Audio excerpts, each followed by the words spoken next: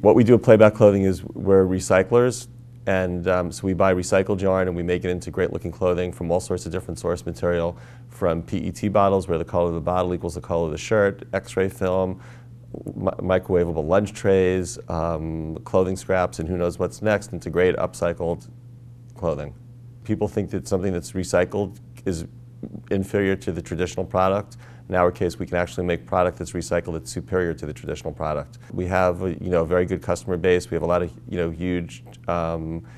um, you know, co-branding partners in Roots and Land's End and Billabong and Quiksilver that all want to, that all are doing these big co-branding programs. Um, you know, we have a you know a very very diversified base in terms of our blanks business,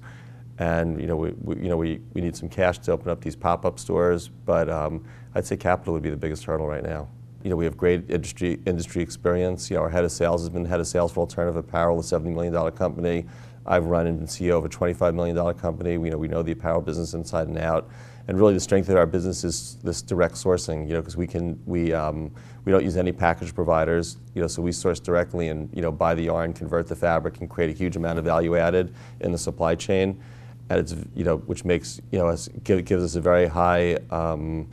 price value relationship and, you know, allows us to make this superior ecological product with really no price premium. There's just so many bottles and x-ray films and, and clothing scraps and microwave trays and everything in landfill that we're, you know, that we're a great source, you know, you know, a great upcycled end source to, to, um, to save all those, to save all that from ending up in landfill.